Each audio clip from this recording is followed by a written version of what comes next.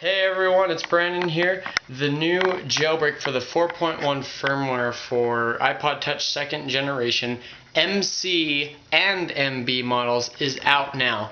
However, it is only for Macintosh. So if you're on a Mac, then you're in luck. Um, PC users or Windows users like myself, uh, we're gonna have to wait for um, an update for RedSn0w or the new uh, GreenPois0n jailbreak. That green, the GreenPois0n jailbreak should be coming out pretty soon. Um, there's been a lot of updates on it, and they say uh, that it's going swimmingly and all this sort of stuff. So make sure that you stick with a website down in the description. It's iPhoneHeat.com, and if you stick with their website, that'll inform you instantly when a jailbreak comes out or any information on the jailbreak comes out. So make sure to stick with that.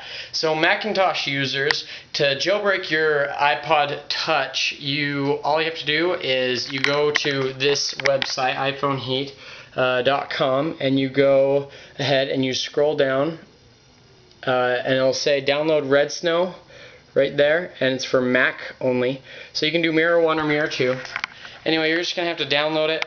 And uh, anyway the process is pretty simple. Uh, make sure that your device is on 4.1 um, and you browse for the 4.1 firmware and I will have a link in the description for all the firmwares for iPhone iPod Touch if you would like to download the 4.1 firmware.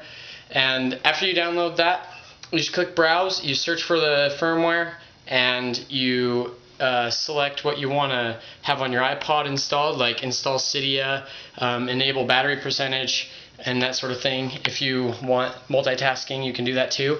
Um, it's all it's all on a little square box that you'll get after you uh, process the firmware. Anyway, you'll select what you want and then you hit next, put it in DFU mode, and it's jailbroken. So um, if you want to see this firsthand, I'll have a video annotation right here and I'll have a uh, video in the description that you can check out and see the process of how it's going to turn out if you have never used a RedSn0w jailbreak. So for us Windows users out there, um, make sure that you stick with my channel and I will be the first to let everyone know about the jailbreak when it comes out. And like I said, it will be coming out most likely with uh, GreenPois0n jailbreak. I will have their link in the description also. Um, right now it's just their logo and it's just a picture, but soon they should be uh, releasing a jailbreak for all the iPods and all the iPhones and everything. So make sure to stick with stick with the iPhone Heat website for the latest updates. And I hope this helps you guys. Thanks for watching. And if you have any questions, make sure to leave them in the comments below, and I will get back to you guys as soon as I can. Thank you very much for you know all your guys' support and everything. And I will talk to you guys later. Don't forget to thumbs up. Okay. Thanks. Bye.